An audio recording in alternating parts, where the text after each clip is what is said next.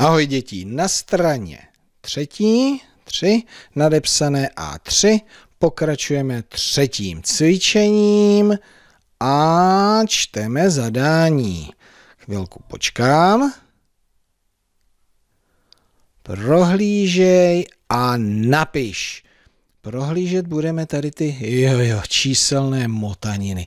Pojďme se podívat tady na animaci a jak si s tím poradíme? Tak první, nejdříve se podíváme, abychom viděli červeně zapsané číslo, tak to je 11 a pěkně ho napíšeme do červeného rámečku.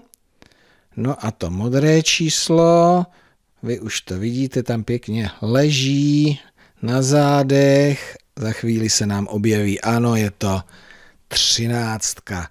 Takže této číselné motanině máme jedenáctku a třináctku. Já si myslím, že tomuhle cvičení asi rozumíte, takže prosím, dejte se do práce, přerušte si video a za chvíli si porovnáme, jestli máte opravdu bystrá očka a všechna čísla správně najdete.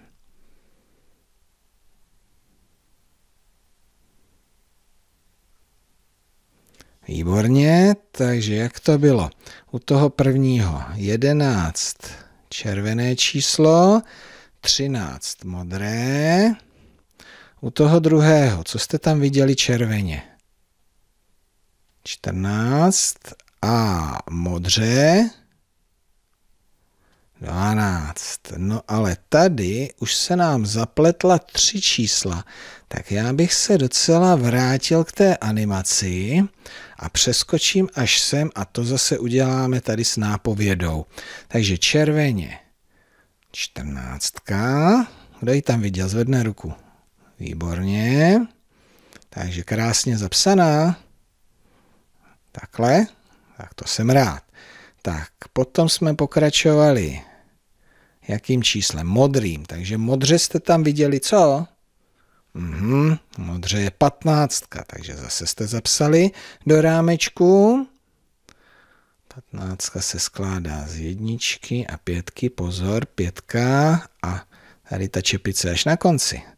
No a co to tam je zeleně? To se možná někomu mohlo nepodařit, ale takhle je to vidět nádherně. To je jedenáctka. Tak, ještě zapsaná. No a co nyní? Nyní se podíváme na celkový přehled tohohle cvičení.